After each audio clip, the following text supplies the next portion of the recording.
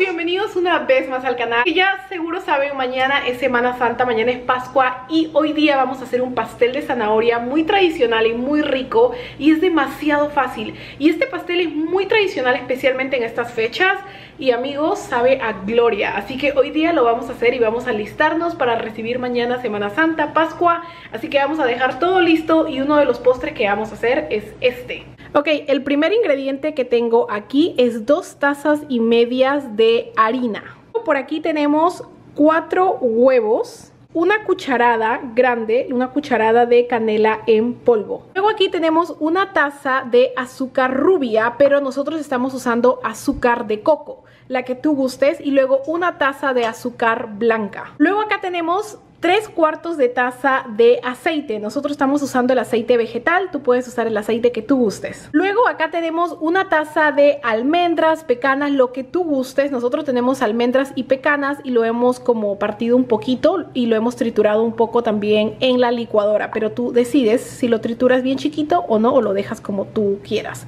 Y luego aquí tenemos tres tazas y medias de zanahoria rallada. Luego vamos a necesitar clavo de olor en polvo. Vamos a necesitar así también jengibre, un poco de jengibre eh, también en polvo. También vamos a necesitar nueces moscadas y vamos a necesitar un poco de sal. Let's add the flour. Vamos a agregar la harina.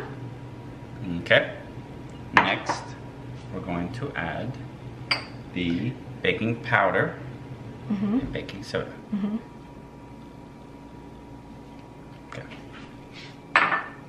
Then after that, add the cinnamon and the nutmeg. Cinnamon. Una de mitad, or mitad.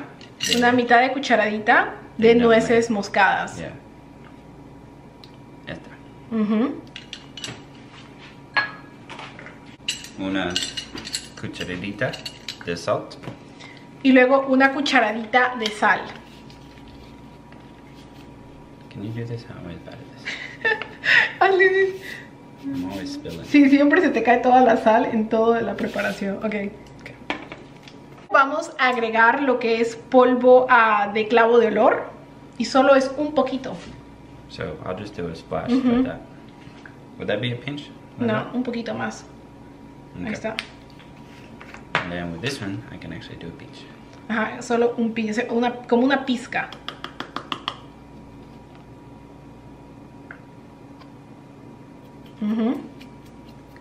Luego amigos vamos a mezclar todo esto. Luego amigos vamos a agregar lo que son las tres tazas y medias de zanahoria que las tenemos por aquí que están bien rayadas y ahora las vamos a agregar a la preparación de todo lo seco que acabamos de mezclar. Y vamos a mezclar todo muy bien.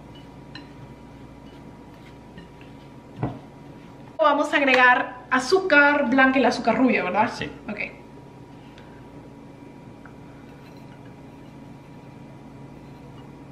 Y la azúcar blanca. Yeah. And then add in the eggs. Esto es demasiado fácil porque todo lo haces en un solo recipiente, entonces es de verdad muy muy fácil la receta. Ahora vamos a agregar los huevos.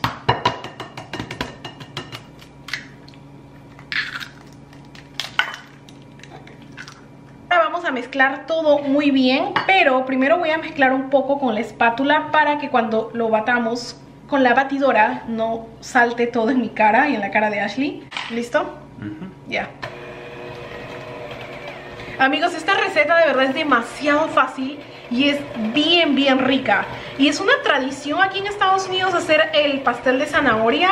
Y la verdad, en lo personal, a mí me encanta el pastel de zanahoria. Así que si ustedes lo quieren hacer, de verdad se los recomiendo porque es muy, muy rico. Así como ustedes lo van a ir viendo, cómo queda. Miren, ya al mezclarse todo muy bien, es así como se va a ver. Yummy, yummy, yummy. Y ahora, mientras vamos batiendo todo muy bien, ahora vamos a agregar el aceite. Nosotros estamos usando aceite de coco, como les dijimos, así que vamos a agregar el aceite de coco y vamos a mezclar muy, muy bien. Ahora, después de haber batido muy bien todo, ya por fin podemos agregar las nueces. Vamos a agregar las nueces y tenemos acá, ¿qué tenemos? Tenemos pecanas, nueces And, and walnuts. y nueces. Y vamos a agregarlo todo.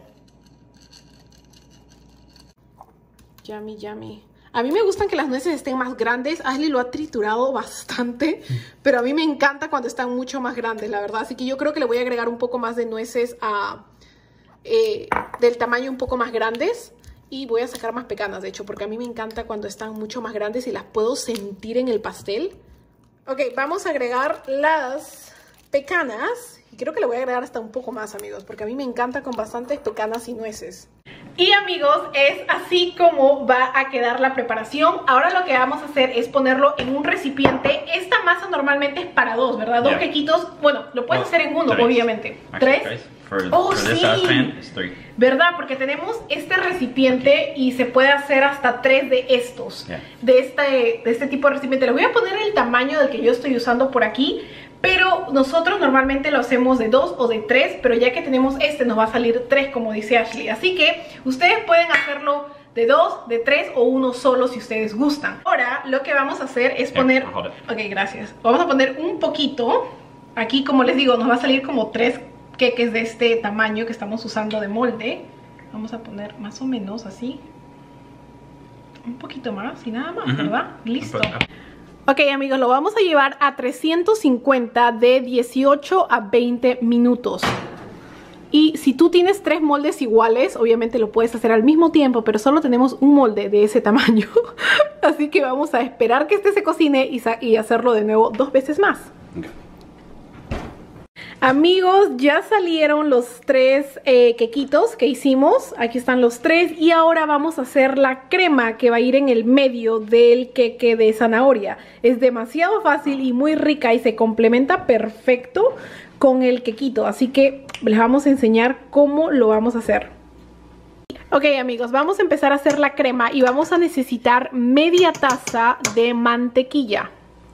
Así que vamos a agregarlo aquí donde lo vamos a batir todo. Y acá Ashley está agregando media taza de mantequilla. Por cierto, si se preguntan Ashley qué se hizo en el dedo, se golpeó. Creo que en el video anterior una me preguntó, una de ustedes me preguntó qué le pasó y es que se golpeó su dedito, amigos. Por eso lo tiene así como moreteado. Me he metido un golpe ahí en el dedo. ¡Pum!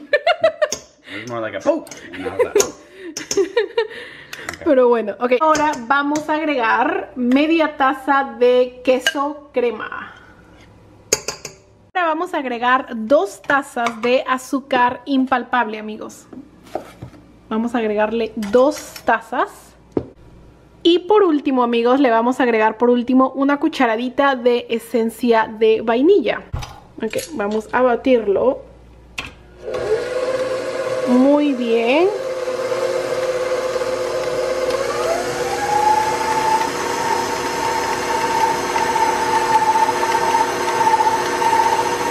Amigos, ya está listo y saben que de hecho duplicamos todo porque nos dimos cuenta que no iba a ser suficiente para cubrir también el pastel, ya que no solo lo queremos poner en el medio, sino también vamos a poner ah, encima más crema.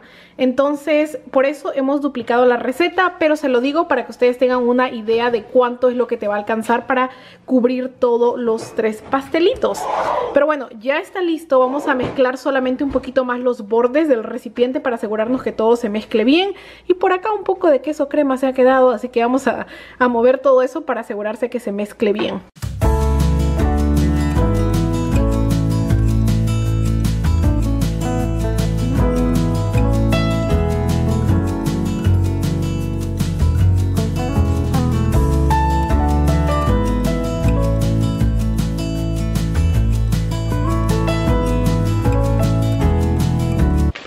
Es así como se ve el queque, el resultado final. De hecho, hicimos solamente dos pisos aquí, ya que pensamos que iba a ser muy grande. Y el otro, adivinen qué pasó con el otro. ¿Quieren ver qué pasó con el otro?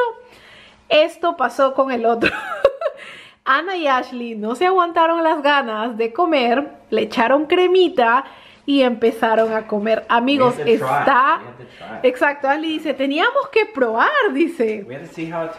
Es que amigos, sabe a gloria este pan, de verdad. Este, esta torta sabe deliciosa, está pero así, en su punto de perfección. Esa es la palabra.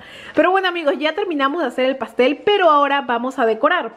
A mí me encanta decorar siempre el pastel de... Bueno, cualquier pastel, la verdad. Ustedes saben que a mí me encanta decorar, así que saben que lo que voy a hacer, voy a poner aquí la figura de una zanahoria.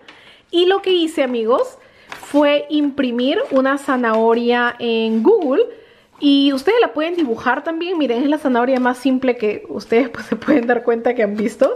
Es una zanahoria bien simple. Y a lo, Ali lo está recortando porque lo que voy a hacer, amigos, es poner... Aquí está. Voy a, tengo de hecho azúcar en color verde, entonces está perfecto porque va a ser para las hojitas de la zanahoria. Y también tengo aquí este como polvito anaranjado. ¿Y qué más? A ver, Acá tengo varias cosas, tengo colorante, tengo diferentes cosas que uso normalmente para hacer mis pasteles y cositas así. Entonces vamos a usar este polvito que es obviamente comestible, es para pasteles, para eh, la zanahoria, para pintar la parte de la zanahoria.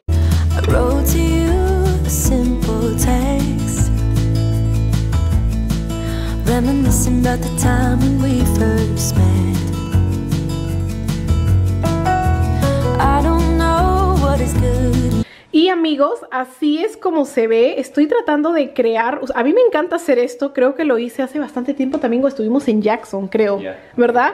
Que hice este mismo diseño de, con, la, con la zanahoria. Me encanta, no sé, me parece demasiado lindo. Yo me creo así cosas y trato de decorarlo de alguna u otra manera. Y ya amigos, así que creo que se ve bien bonito, se ve como que llamativo, se ve bonito. Y amigos, ya puse mi pastel aquí para guardarlo para mañana y saben que les quería enseñar la parte de adentro del pastel para que ustedes lo puedan ver bien, pero es demasiado esponjosito y tiene todas las pecanas, todo lo que le agregamos. Amigos, este pastel es demasiado rico, creo que ahí lo pueden ver bien. Se cocina tan perfecto, ay no. Ustedes definitivamente prueben esta receta, es deliciosa. De verdad, buenísima, buenísima, buenísima. Esta la tenemos de la abuelita de Ashley y de verdad que esta receta vale mil para nosotros. Ok amigos, ya que terminamos de hacer el pastel, les quería contar de hecho que voy a, ya hablar por videollamada con mi hermana y ella va a estar respondiendo varias de las preguntas que ustedes le hicieron en Instagram.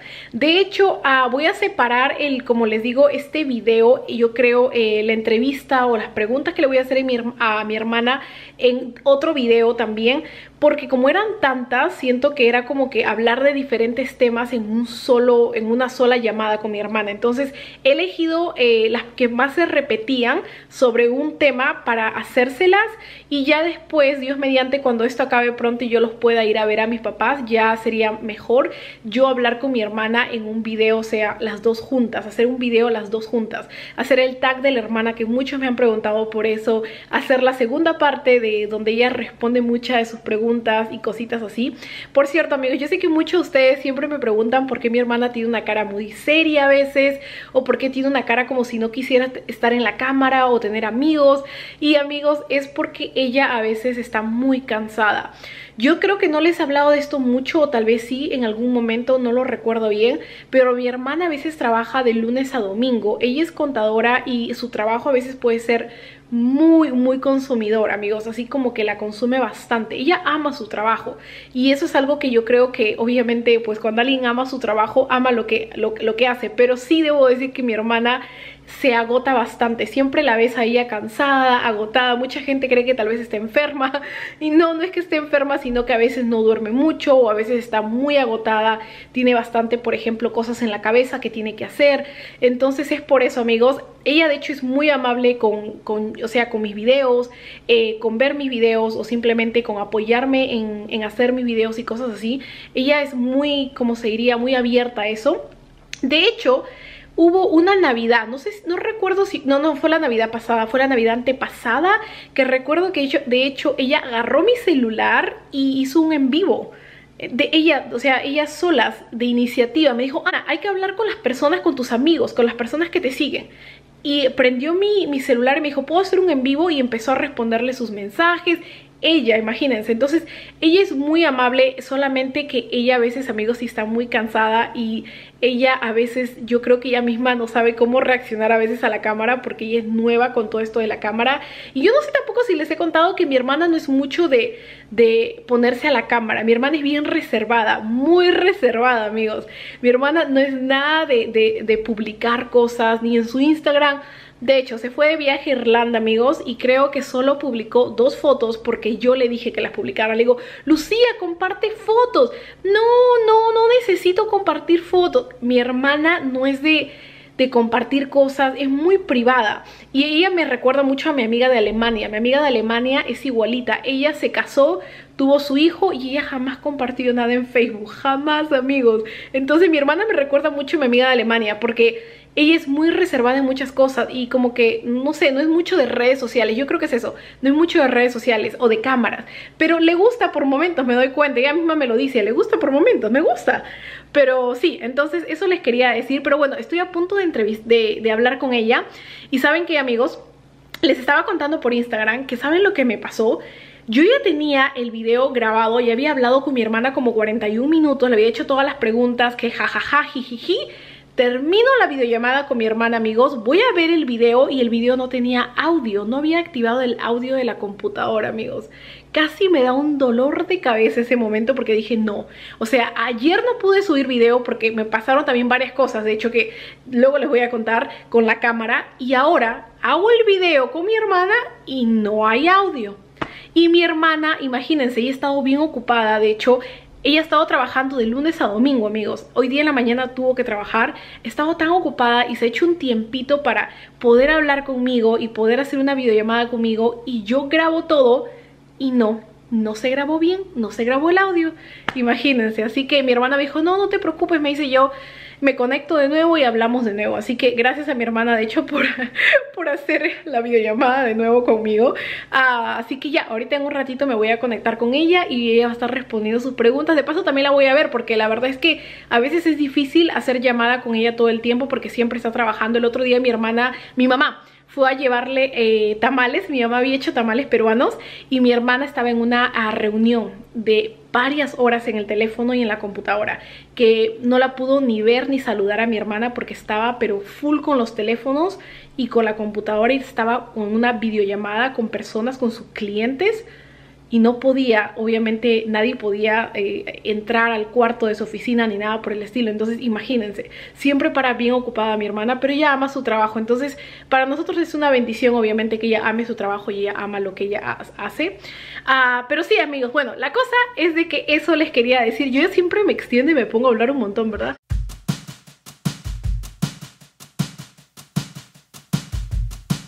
Está todo bultuoso ahora. Ok amigos, ahora sí por segunda vez vamos a hacer esto porque la primera Ana lo hizo y no, y no, no grabé el audio. Ay no, soy un desastre. Vamos a empezar por una divertida, Lucy. ¿Qué carrera estudiaste, Lucy? Contabilidad. ¿Por qué elegiste estudiar contabilidad?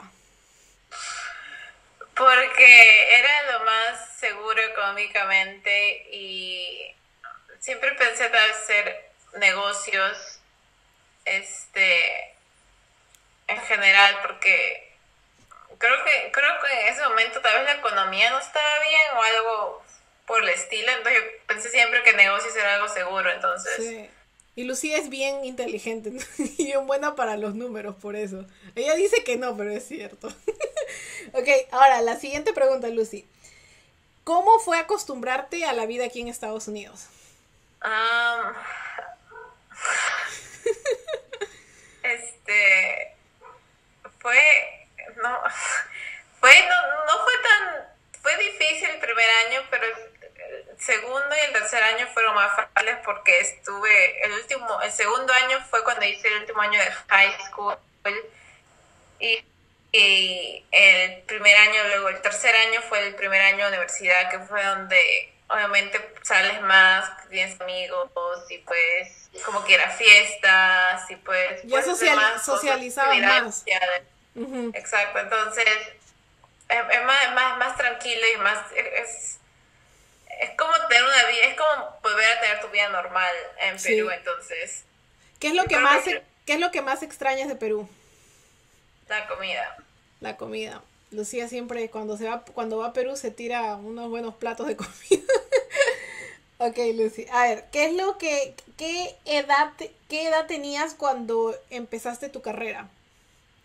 Ah, ¿En la universidad o Sí, en la universidad. Ah, tenía 19, creo 19, 20, 21, 22, sí creo. 19 años creo que tenías también. Sí, 19, creo que estuve en la universidad. Te graduaste el año pasado, pues no tenías 20, 20 cuánto? Eh, 22, Lucy ahora, ah, tu edad Lucy, ¿cuántos años tienes? 23.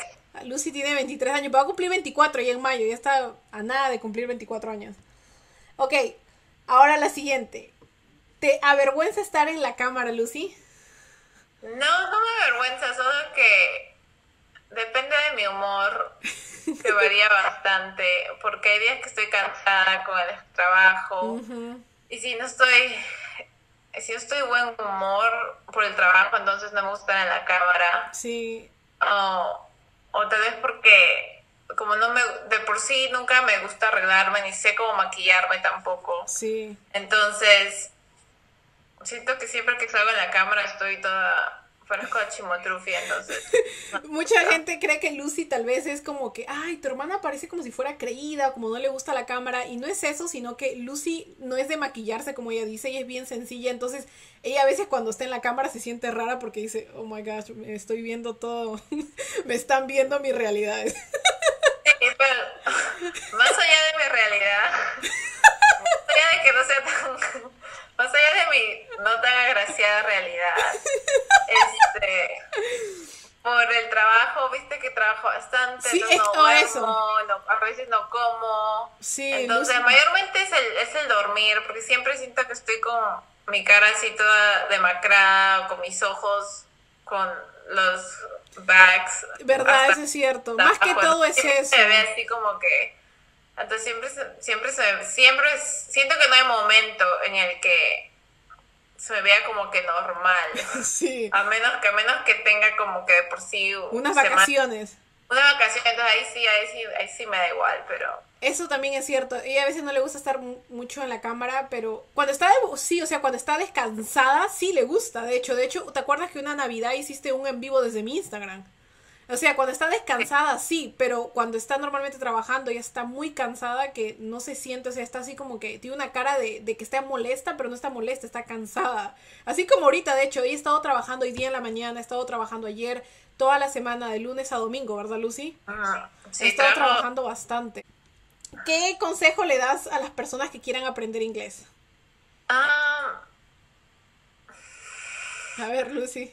Depende, se me imagino que la gente que está en Latinoamérica, que vive en Latinoamérica, obviamente no, probablemente su vida cotidiana es el español, entonces la única exposición que tienen al inglés es realmente si estudian Si estudian, claro. Este, pero yo creo que canciones, este, ver canciones, cuando yo empecé, cuando recién nos mudamos aquí, yo escuchaba canciones, las canciones que me gustaban, las buscaba en YouTube y ponía las letras y las trataba de aprender, este, para aprender a pronunciar, para saber lo que decía la, la canción, porque a veces cuando iba en el carro y mi papá ponía canciones que me gustaban, no las podía cantar porque a la justa ma- masticaba mi, Tu mote, tu inglés. mote. Entonces siempre, siempre estaba como que y nunca las podía cantar. Entonces a mí me molestaba porque había canciones que sí me gustaban. Entonces, la, entonces eso fue lo que hice ir a YouTube y buscar las, las letras de las canciones y me las me- memorizaba y también las traducía al mismo tiempo. Las buscaba en español e inglés y luego la- me las memorizaba en inglés. Ver y así. televisión y escuchar música siento que ayuda bastante, ¿verdad? Sí, ajá. Bastante. Sí, y sí, porque por lo menos si vives en Latinoamérica es la única forma de que, que creo que, que estés en el, como que en el mundo del, del inglés, pero si es que vives aquí en Estados Unidos obviamente es más fácil porque tienes que hablar inglés para, o tienes que por lo menos tratar que hablar inglés para hacer las cosas del día a día. Y tener amigos también, como tú dices, sociabilizar y que te acostumbres. Ajá, tener amigos también es, o sea, es hablar con gente que, que habla inglés, porque aún así no te entiendes, o sea, nunca, mucha, la mayoría de gente acá es súper nice, o sea, Sí. por lo menos, por lo menos gente sea de nuestra edad, viste que... Es bien, es bien nice y bien abierta Ajá. a conocer gente. Exacto, entonces la gente de nuestra edad todavía está así como que es súper nice, súper relajado. Tal vez, tal vez a personas mayores que obviamente le- les va a molestar como que repitiendo o tratar de entenderte, porque se entiende porque son gente mayor. No te va, eh, mucha gente me dice eso. A veces la gente mayor no me entiende, pero es que sí, los jóvenes sí te van a gente- entender. Ajá, la gente de la gente más joven es más relajada. Sí. ¿Qué fue lo primero que pensaste al llegar a Estados Unidos, Lucy? ¿Qué fue lo que, lo que primero se te pasó por la cabeza? ¿Te acuerdas cuando llegamos al hotel en Miami que nos quedamos ahí? Cuando recién llegamos. Um, cuando llegamos a Miami fue a mí me gustó Miami pero era todo como que um, porque cuando llegamos a Miami llegamos al suburbio de Miami ¿viste? Sí. no, no llegamos ni siquiera a la ciudad de No, Miami no, Miami entonces eh, eh, era acá los suburbios son como que muy alejados viste Y nosotros veníamos de una ciudad de gente, congestión, de que se veía todo eso. Ah, incluso creo que en donde llegamos no fue tan malo, pero cuando llegamos acá a Atlanta, que llegamos en la noche y viste que acá no hay, viste como todos los suburbios está lleno de árboles, pero en la noche los árboles no se ven, entonces se ve todo así como que negro, no se ve, Sí. no se ve, no hay casas, porque las casas están cubiertas por los árboles y están bien dispersadas, entonces, pues, no sé, pa- yo, yo pues, pensé que nos habíamos mudado a un, a una... A no un se- desierto. no sé, a, un- a cualquier lado, menos, menos a una ciudad o, o algo parecido que... Fue bien, fue bien, este, bien choque para nosotros porque llegamos de noche y de noche normalmente no hay semáf no hay este postes de luz, postes de luz en las, en, en las avenidas. Entonces tú no ves nada y lo único que uno veía era desierto. Y eso sí, creo que también fue extraño. Fue como que, espérate, mi papá, ¿a dónde nos ha traído? A la mitad de la nada. Y recuerdo que Lucy le dijo, papi, creo que nos hemos equivocado. Y mi papá, no, nosotros vivimos aquí nomás, aquí nomás. Así que Sí, eso sí. porque es... O sea, en las noches, para el que no conoce o para el que no sabe que hay como que... Porque aquí todo es como que suburbio y luego Sí. hay como que un, pe- un pequeño círculo donde donde están todas las tiendas y Sí. es como que parece como una pequeña ciudad, pero es literalmente como que dos calles y ya. Y después todo es como que casas y, y nada más y, Y no luz. y no luz. Entonces, este, no sé, para mí, por lo menos al principio sí creo que fue un choque porque no, por lo menos yo no, no creo que podría vivir en una, no en un suburbio porque, porque es normal, por ejemplo, viven ahí, ¿verdad? es normal, pero Pero a ti te gusta más como que de alguna manera, porque por ejemplo tú vives en Atlanta, en la misma ciudad de Atlanta. Y Lucy, por ejemplo, se, le gusta más donde ella vive porque ella siente que es más ciudad y es como que también tienes acceso a todo ahí más rápido. Sí, o sea, tiene sus pros y sus no, porque a mí sí me gustaría vivir fuera de la ciudad por el tráfico, porque el tráfico acá es horrible. Sí. pero no sé, hay lugares que uso en mi vida diaria, como que el, no sé, cuando voy al mall, cuando voy al spa, cuando, hago- cuando hay cosas li- literal específicas que están aquí, sé que no, que no las voy a encontrar allá, entonces no, no sé, tendría que pensarlo dos veces. Sí. A ver, Lucy, las dos últimas preguntas que mucha gente se ha preguntado es ¿cómo conociste a tu enamorado Eric? Para los que, bueno, ya mucha gente sabe que el enamorado de mi hermana se llama Eric, es de aquí estadounidense, es el que tiene la barba anaranjada, que mucha gente siempre me pregunta por qué tiene su barba anaranjada. Él es enamorado de mi hermana. ¿Cómo lo conociste, Lucy? Eh, lo conocí por Gustavo, un amigo Peruano que peruano tenemos. nuestro que eh, eh, cuando yo estaba en la universidad él todavía estaba haciendo su último año en su máster's Ajá, su máster de Y- economía, de, perdón, contabilidad, contabilidad. y Eric estaba haciendo su máster's también con él y ambos trabajaban juntos también entonces en, en, una, en el cumpleaños de Gustavo creo que fue que nos conocimos Y ahí se, y Gustavo los presentó. Ajá. Ok. Ahora, ¿cuántos años llevas de relación con Eric, Lucy? Con cuatro cuatro años. Yo pensé que era dos, amigo. Yo estaba segurísima de que era dos, pero sí, ha, tenido que ser más, solo que el tiempo ha pasado muy rápido. Cuatro años tan rápido. Ok, Lucy, ¿piensas casarte? Eh, sería algo de que me levanto y me digo que me voy a casar hoy día para así poder tener mi fiesta que quiero, pero no sé, algo que organice así como que una boda ni todo. No sabe, mi hermana no le gusta, nunca le ha gustado como por ejemplo ella ser el centro de atención, así se llamaría Lucy, como el centro de atención, porque por ejemplo los 15 años, mi hermana no que hizo 15 años por esa razón, porque no le gusta como que, no le gusta mucho esa onda de celebrarla a ella, ni en su cumpleaños de hecho, ni para cantarle ca- su cumpleaños, mi mamá y yo tenemos que hacer escondidas para su graduación. Tuvimos que hacerlo a escondidas su pastel. A escondidas, oh, hay que llevarle globos. A escondidas hay que llevarle flores, pero no le digas nada. O sea, era todo una todo escondidas porque ella no le gusta ser el centro de atención. Entonces siempre ha sido así, muy como que, ah, no. Y, y ya, pues entonces sí, definitivamente eso de la boda, no la veo un poco como que de un día para otro me llames y me digas, Cristina, me voy a casar mañana. Oh, ok. Sí, Ahí ahí definitivamente sería algo así. A las monjitas. ¿Qué cosa? A mí sí me gusta, me gustaría traer a las monjitas. Mi hermana y yo hemos estudiado en colegios católicos, entonces nosotros tenemos un- una ternura y un amor por las monjitas. Cada vez que veo una, yo especialmente cada vez que veo una monjita digo, ay, me la quiero apapachar, me la quiero... oh.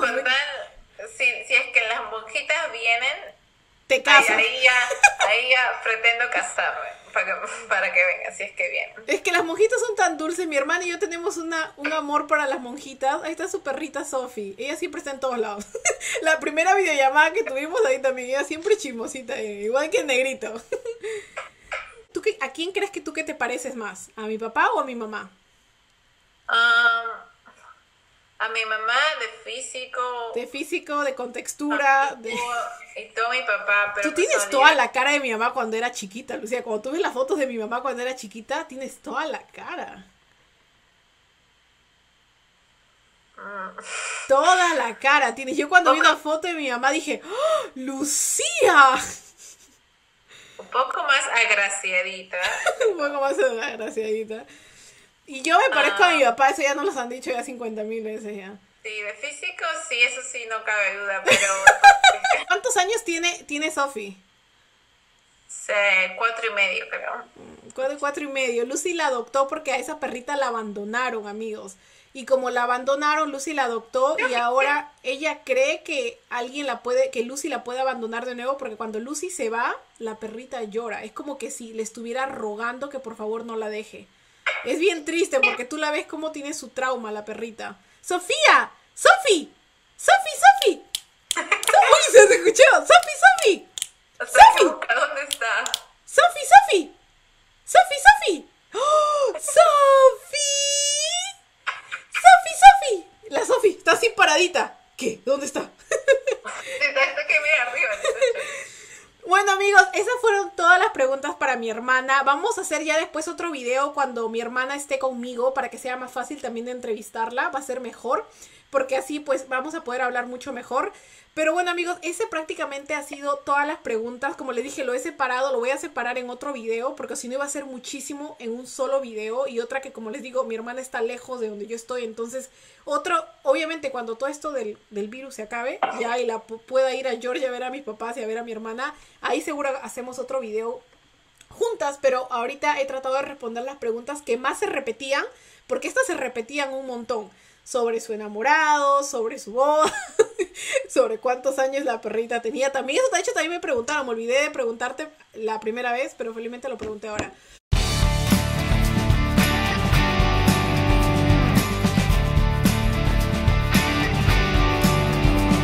Mi hermana, amigos, quiere tener vaquitas. Ah, quiere tener bastantes vaquitas. Ella ama a los animales igual que yo. De que de chiquitas mi mamá siempre nos enseñó a amar mucho a los animales. Y ese es nuestro problema ahora, porque cada vez que vemos un animalito en un lugar, ya nos lo queremos traer. Y es un serio problema, porque mi hermana y yo ya no sabemos a veces qué hacer. O sea, porque a veces vemos animales y ya como que, ah, me lo quiero llevar a mi casa. Mi hermana quiere vacas, cabre- eh, cabras, burros, no sé qué, Ovejas. ovejas, quiere todos para su casa. Ella, por ella tuviera, no sé, un montón de animales. Entonces, definitivamente eso para ella es bien importante. Sí, cuando, viste que estuvimos en Ireland ahora, Mi hermana estuvo hace poco en Ir- Irlanda. este, viste que allá hay, cuando sales fuera de la ciudad, todo es así como que verde y hay ovejas por todos lados, todos tienen, cualquier lugar que sea verde tiene ovejas y vacas y Ay, caballos. qué lindo. Entonces yo creo que yo creo que sería mi lugar para mudarme, para vivir con mis ovejas y mis vacas. Es que, es que nosotros saben que lo que pasa es que nosotros hemos crecido yendo a Manchay, a una casa que era, tenía, habían chanchos, vacas, habían tantas vacas, amigos, que había una vaca que se llamaba como, como yo, como mi hermana, y hemos crecido en ese mundo y nos llevaban a nosotros a diferentes, a la parte sierra de Perú, a Huancayo, a Cajamarca, que mi hermana y yo hemos crecido y nos hemos dado cuenta que más grandes somos, más atracción sentimos por irnos a, a- por estar con animales y estar en esos lugares, ¿verdad? Porque yo me he dado Sí. cuenta que más es el lugar que más me relaja, que más me, me hace sentir bien. Es como que eso, eso es lo que pasa. Tanto nos, lo- nos los hemos crecido en ese lugar de chiquitas y nos han llevado tanto a esos lugares que nosotros ahora lo amamos y como que ¡ah! lo necesitamos. Yo lo necesito cada cierto tiempo. Ir a, a ir a chacras o ir a animales, ver animales me encanta. Amigos, Hola, feliz día de resurrección. Sí. Feliz Semana Santa. Les cuento que ya Happy es, Easter. sí, es el día de resurrección. Y saben que, de hecho, muchísimas gracias por ver este video. Queríamos desearles eh, un feliz día de Pascua, de Semana Santa. Eh, muchísimas gracias por acompañarnos en este video y muchísimas gracias también por ver el video de yo chismoseando con mi hermana.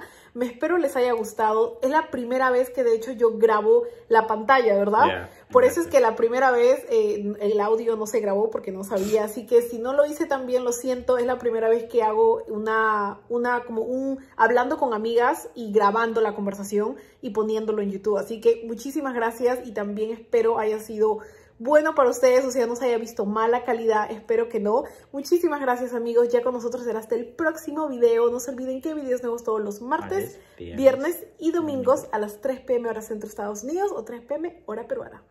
Chao. Chao.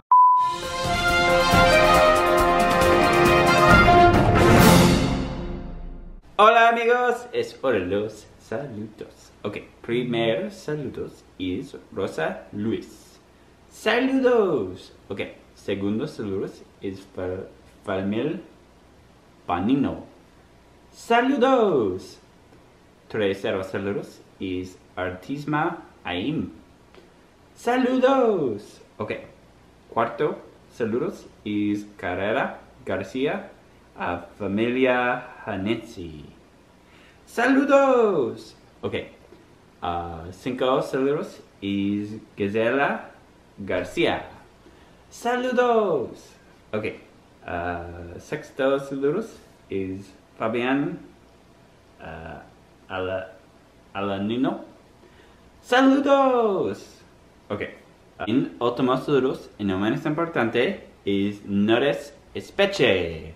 Saludos. Gracias amigos por ver el video. Recuerda un nuevo video es martes, viernes ah, y domingo. Ah, tres primeros centros de Estados Unidos. ah, sí, tres primeros centros de Estados Unidos. Tres primeros centros peruviana.